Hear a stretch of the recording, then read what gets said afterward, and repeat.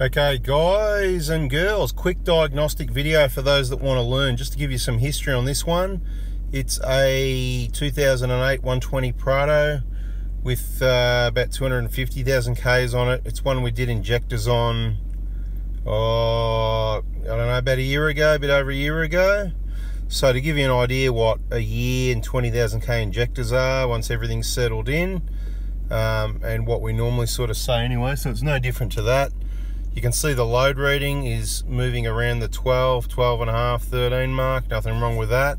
It's a good indicator, but you know, a lot of these readings, you need to check them out, comparing them to each other. So this, let's just go back to the top.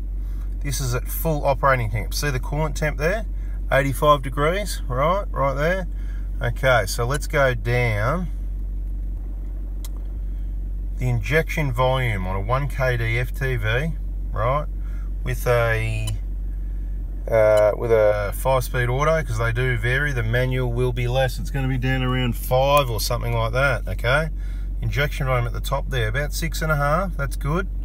Um, feedback for idle don't worry about that. Let's move down to the individual feedback for these. One two three four. These are not the everything about the injector. This is not a rating on how good the injectors are or not. It's quite simply um, uh, individual feedbacks, whether it's adding or subtracting fuel. See the minus before it? Subtracting fuel. Uh, number two and three, adding fuel. Number three, well, three is perfect. It's not adding or subtracting. So in a perfect world, they'd all be on zeros. But, you know, I'm trying to tell you that doesn't matter if it says one or something, one point whatever, or uh, it's not the end of the world. And this is a 120 Prado from 09 where the 150s came out and same vintage Hiluxes these hardly move. You've got to have a big problem to see a problem. So you can't rely on diagnostics on the later vehicles, which is why we give you that ballpark seven year 170k replacement recommendation. All covered in our other videos as to why. There's so many reasons to back that up. Pilot 1 and 2 always around the 430 mark. You can see one of them's jumping around a little bit to about 450. Nothing wrong with that. Main injection period around the 6, 650, 5s, you know, mid 5s Main injection period does jump around a bit, as long as it's not jumping around too much, and as long as it's in this sort of range is really good readings. Now let's have a look at the timing, so then you know what normal timing is, a little bit further down, right?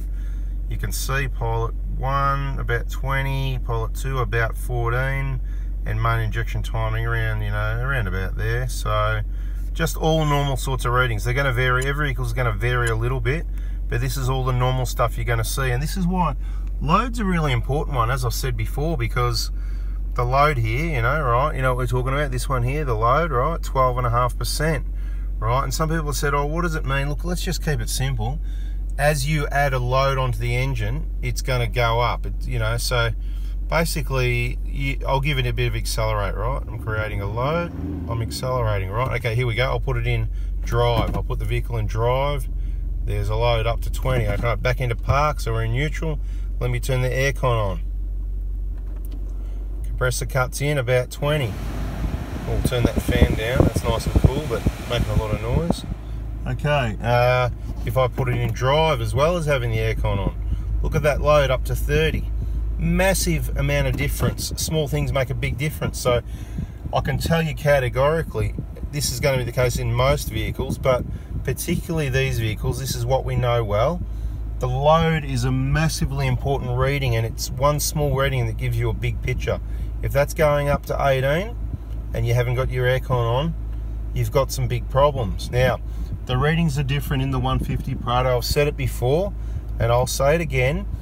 In a 150 Prado or a Hilux from around, you know, September 09 onwards when the injectors changed with an automatic and the, the different autos are a bit different and the manuals are a bit different. So you know, there's you've got to watch all the videos and all the diagnostic videos where I'm going to be more specific about each one. Whichever vehicle we got in front of us, that's the data I'm going to give you. But I've noticed on these videos, not a lot of people watch them, so that's probably why you keep misdiagnosing, thinking you need injectors when you don't, or thinking you can rely on diagnostics when you can't, or thinking that your load's high at 16 when it's normal because you've got your you've got your your numbers mixed up with a different vehicle, if you know what I mean. So I'll tell you again, this is a 120 Prado, five-speed auto is the most popular. So that's what we've got here. That's what we're going to talk about. Ideally, new injectors are going to be around 11%. I'll turn the aircon off again, although it's getting nice and cool in here. I'd like to leave it on, right? Sometimes you'll see 10 or 11. Manuals, you're going to see 8 or 9. That's when things are good. Now, back to the auto. When it gets up to 15, 16, anything over 16, you need to replace the injectors. Subject to, we need to look at the other readings as well and compare, but most likely 99.9% of the time, when you see that load reading go up to say 16 or you know everything else it, everything else goes up you'll see that main injection period the um, injection volume everything will sort of go up on par with the calculate load reading. Okay so hopefully that's helpful for you. Your range for the 120 auto 11 through to about 16 okay the manual take off about three so let's say eight for new injectors through to about 13 kind of thing. You know what I mean? Remember, aircon off, no accessories, no flat batteries that have got your alternator working hard, no dual batteries that are getting charged up because you've got a big freezer running because the load on the alternator can add load to the engine and it changes that reading. There's, it only takes small things. If I was to go out there and put my boot against the pulley on the drive belt and create a resistance, that load is going to go up, even with a light amount of pressure. I'm not saying that's the wise thing to do, or I'm just another dumb idea how I'd come up, I just came up with to explain how much a small load would make a difference and change it um, on that calculate load reading. Now, so we pretty well covered the 120s in the manual and the auto, okay, because they, all the 120s and 1KDs had either a five-speed auto or a six-speed manual. So we might as well go into the Prado 150s. Most of them are the five-speed auto. Quite often you're going to see 14.9, 15.2, 14.9, 15.2. If you've done 200,000 Ks, your injectors are not okay, but you'll probably still see that reading. Different system, can't rely on diagnostics. Now, um, you might see 12.9, you might see 13.7. That's all okay too. You might even see 16 point something. That's okay too in a 150 Prado, okay? Um, once you start to see over 18, 17, 18, you've probably got a problem and it might only need to be 18 or 19 and you've got a pretty big problem. That's the difference. It's a massive difference in these two systems. I'd hate to be trying to nut out exactly when there's a problem with all brands and makes and models of diesels and engines because it's hard enough to understand the 1KD with a few different uh, you know variations of uh, transmissions and stuff like that. I mean using the load reading because it's very important. Quite often, I've explained before, you can look at the whoop, you can look at the individual feedback values. Let's go back to those for a minute and everybody says, and it'll have done 400,000 Ks, oops, went too far. It would have done 400,000 Ks and they'll go, oh, look, they're okay. They're only, you know, no.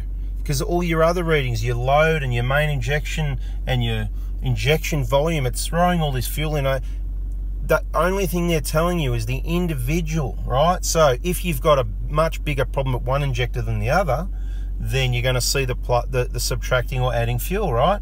If if they're evenly flogged, they're going to be all adding. You know, they're all going to be. It's, you know what I mean? They're even, if you know what I mean. So all your injectors are wearing, and very rarely does it always show up in these one, two, three, four individual readings. So don't rely on it. You know, I see people for years going places getting cars checked and whatever the case may be, and uh, you know they're getting only the individual feedback readings uh, looked at. It's just not the right way to be looking at things. So let's quickly go over it again. The most important readings, okay? So you can go and educate anyone you need to go to for help. Coolant temp on full operating temp there at, you know, at 84. We're looking at the load reading up the top here. Load's an important one. Then we're going to go down to injection volume. That's this one here, six on a 150 Prado auto, it's going to be around about the 8 or 9, you know, thereabouts. So, of course, the load's higher, the fuel injection volume's higher, okay? Now, the other one we're going to be looking at, so I don't want to confuse you too much talking about different cars, which is why I normally try and talk about this, these numbers in this video, and I'll talk about the numbers of a 150 Prado in a 150 Prado video, if you know what I mean. But I've tried to include both in this video, so hopefully that's been helpful. See the main injection period there? at the bottom there, right? Bottom line now. That's the third. One, two, and three. Load, injection volume in main injection period is what I'm looking at on a 120 Prado. On a 150, all I'm really going to have a quick look at is the feedback values in case there's something catastrophic going on. But rarely, or if ever, do you see them go out.